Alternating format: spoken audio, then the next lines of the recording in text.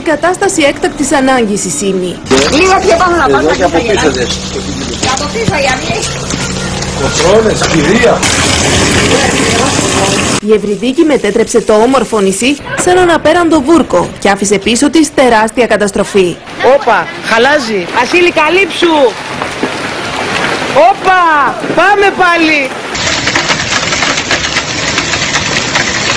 Η μανία του νερού ήταν τόση που παρέσυρε αυτοκίνητα και τα έριξε στη θάλασσα. Σπίτια και επιχειρήσεις πλημμύρισαν.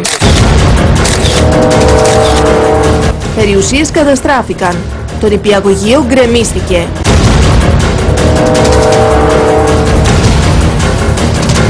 Ευτυχώς που έγινε νύχτα αυτό το πράγμα. Το νηπιαγωγείο κάτω στο λιμάνι της Σίμη πέρασε το ρεύμα από πίσω και κρέμισε τον εξωτερικό τοίχο και ο εξωτερικός τοίχος γκρέμισε το τοίχο του νηπιαγωγείου. Καταλάβατε αν ήταν πρωί και είχε παιδάκια μέσα, έτσι. Τι κακό θα μπορούσε να έχει συμβεί.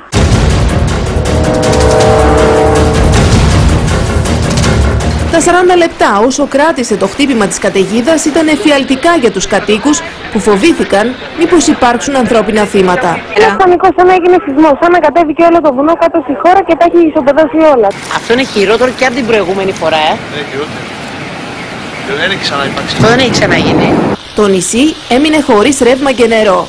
Στους δρόμους, μπάζα, αυτοκίνητα και εξοπλισμοί επιχειρήσεων έχουν γίνει μία μάζα με τις λάσπες. Ολική καταστροφή. Όλα τα μηχανήματα, εξοπλισμός, τα προϊόντα έχουν φράξει όλοι οι δρόμοι, έχουν φράξει αποκετεύσει. Οι καταστροφές είναι πάρα πολύ μεγάλες και στο οδικό δίκτυο και στις δομές του Δήμου και στις πλατείες και στα πεζοδρόμια.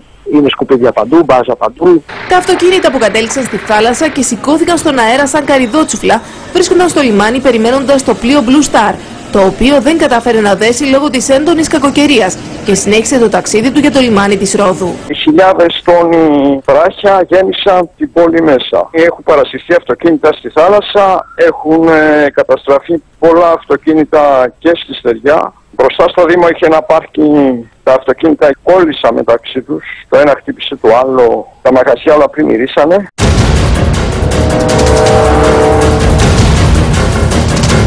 Κάποιοι κάτοικοι επιρρύπτουν ευθύνες στη Δημοτική Αρχή. Ήταν πάρα πολύ δυνατή η βροχή. Παρέσυρε και μπάζα γιατί αρκετά ρέματα τα είχαν μπαζωμένα γιατί υπάρχει η ανθρώπινη ανευθυνότητα. Με αποτέλεσμα να πλημμυρίσει το κεντρικό μέρος του νησιού. Αυτό που έγινε δεν μπορούσε να έχει προβλεφθεί, απαντά ο δήμαρχος του νησιού που περιγράφει πως όλη η Σύμη έγινε ένας χήμαρος.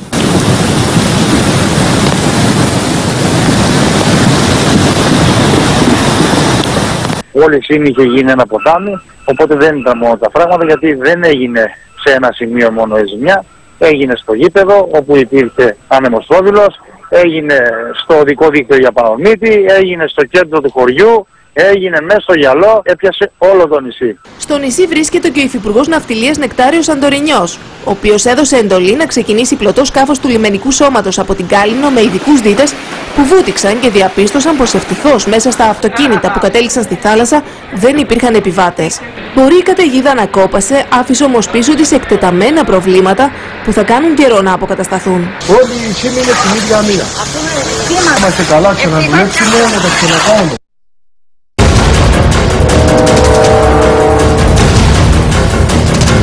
Το κύμα της κακοκαιρίας αυτή την ώρα χτυπά στην Πελοπόννησο και τα νησιά του Ιωνίου και αύριο θα πλήξει το Ιόνιο και τα Υπηρετικά. Κατά τόπους τα φαινόμενα θα είναι και έντονα. Παρόμοια θα είναι τα φαινόμενα και την Πέμπτη, ενώ θα συνεχιστεί το ίδιο σκηνικό μέχρι και το Σαββατοκύριακο.